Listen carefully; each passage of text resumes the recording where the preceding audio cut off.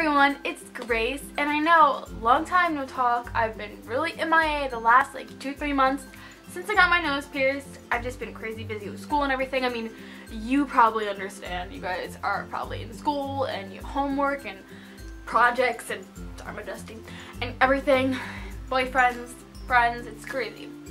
And sleeping is important too. But uh, I'm back to film and be active for you guys couldn't tell by the new camera quality.